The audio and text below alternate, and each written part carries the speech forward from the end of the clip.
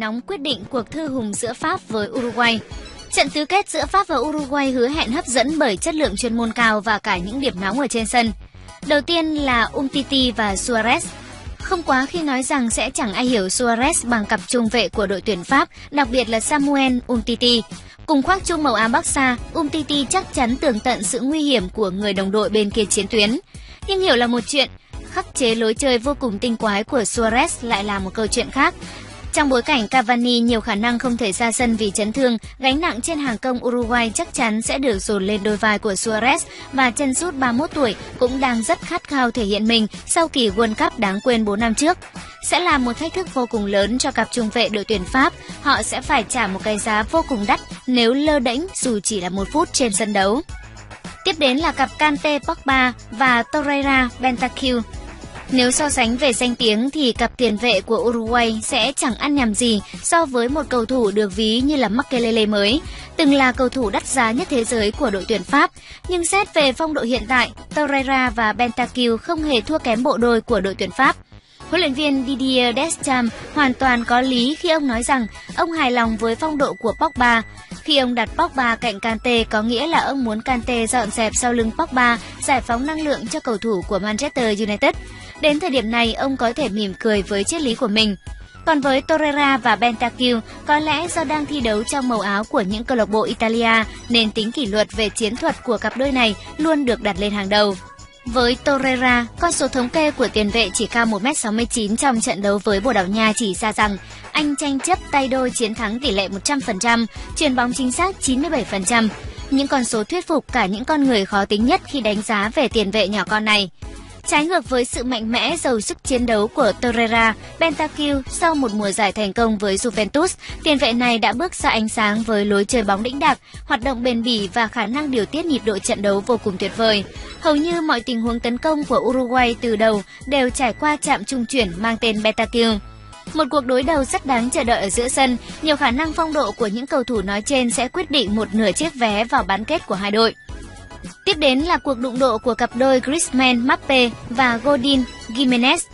Hiện tại Diego Godin là một trong những trung vệ tốt nhất thế giới, đội trưởng của tuyển Uruguay, đóng vai trò vô cùng lớn trên con đường vào tứ kết. Việc hàng thủ đại diện Nam Mỹ mới chỉ để lọt lưới duy nhất một bàn thắng đến thời điểm này của giải đấu. Đó là câu trả lời vô cùng đanh thép cho những người đặt câu hỏi về vấn đề tuổi tác của Godin trước thềm giải đấu. Ở cuộc đọ sức với Pháp, anh sẽ phải đối mặt với người đồng đội trong màu áo câu lạc bộ Atlético Madrid, Anthony Griezmann. Đã không còn xa lạ gì nhau, một cuộc đối đầu của một tiền đạo hàng đầu thế giới, một bên là hậu vệ đẳng cấp thế giới, đây hứa hẹn sẽ là màn nội chiến vô cùng hấp dẫn và thú vị sẽ là thiếu sót vô cùng lớn nếu không nhắc đến Mbappe, ngôi sao đang tỏa sáng rực rỡ trên hàng công đội bóng áo lục lam. Kỹ thuật tốt, tự tin và khả năng nước rút vốn chỉ thấy ở những giải đấu điển kinh tầm cỡ khiến Mbappe đang trở nên vô cùng nguy hiểm. Hai bàn thắng trong trận đấu với Argentina, vô số những lần vượt qua những trung vệ hàng đầu thế giới như Otamendi hay chắc chắn là những thông số mà một trung vệ như Joe Gimenez sẽ phải đặc biệt lưu tâm. Với việc Godin đã quá già để có thể tham gia vào những cuộc chiến tốc độ với Mbappe, Gimenez lại thích hợp để làm việc đó. Mạnh mẽ, không chiến tốt, nhanh nhẹn là những điểm mạnh của Gimenez. Tất nhiên cuộc đối đầu giữa Pháp và Uruguay vẫn còn nhiều điểm nóng trên sân, thế nhưng cuộc hội ngộ của những cái tên trên rất đáng được chú ý. Một cuộc chiến mà phong độ của họ sẽ quyết định lợi thế cho đội tuyển của mình. Uruguay với Pháp, trận đấu của những cầu thủ đã quá hiểu nhau. Đội tuyển Uruguay và Pháp sẽ có một cuộc chạm trán, một mất một còn tại sân vận động Nizhny Novgorod để tranh vé vào bán kết World Cup năm 2018. Với Griezmann, cầu thủ tấn công sáng nhất của đội tuyển Pháp, anh sẽ gặp lại những người bạn thân ở Atlético Madrid là Juan Maria Grimenez và Diego Godin. Trong khi đó, Samuel Umtiti của Pháp sẽ làm nhiệm vụ chăm sóc người đồng đội Barca Luis Suarez. Phát biểu trước giờ bóng lăn, những người trong cuộc đều cho rằng sẽ không dễ dàng gì khi phải đối đầu với những người đã quá hiểu mình. Tôi luôn đùa rằng muốn đối đầu với Umtiti tại World Cup và giờ thì đã thành hiện thực. Tất nhiên, sẽ rất khó khăn để vượt qua cầu ấy, Suarez chia sẻ.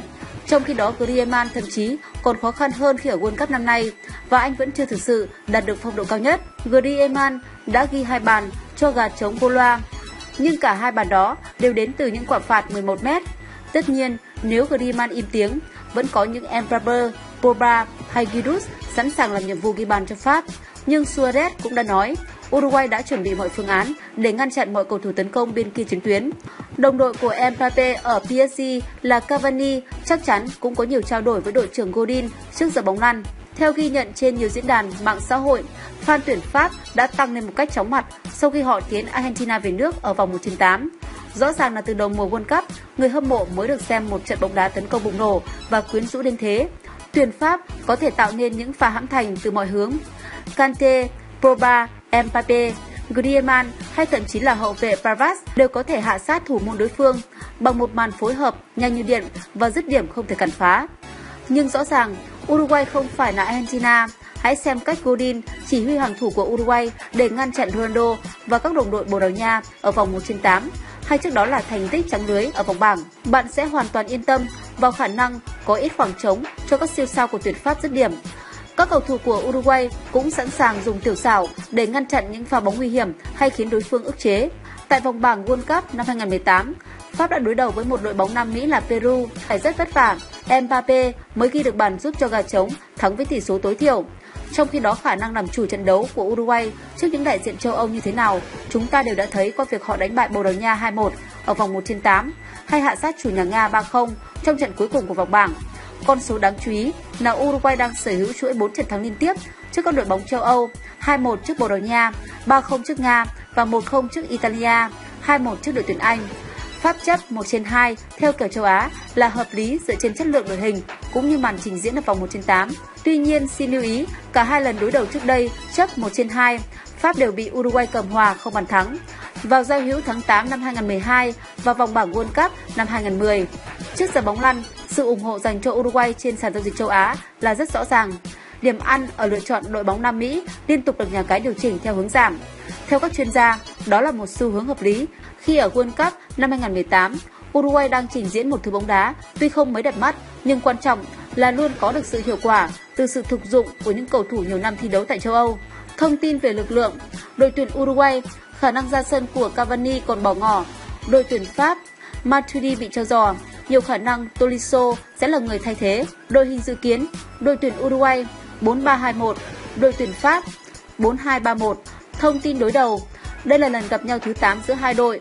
7 lần trước, Pháp thắng 1, hòa 4 và thua 2. Hai đội đã 3 lần so tài cao thấp tại đấu trường World Cup. Pháp chưa một lần ca khúc khải hoàn với hai trận hòa vào năm 2002 và năm 2010, một thất bại vào năm 1966. Ngoại trừ lần gặp nhau đầu tiên vào năm 1966, 6 trận đối đầu kế tiếp giữa hai đội đều khép lại với tổng bàn thắng không quá 2, trong đó 4 trận có tỷ số là 0-0. Thông tin bên lề, Luis Suarez đã ghi tổng cộng 7 bàn tại đấu trường World Cup, kém một bàn so với huyền thoại Oscar Miguel.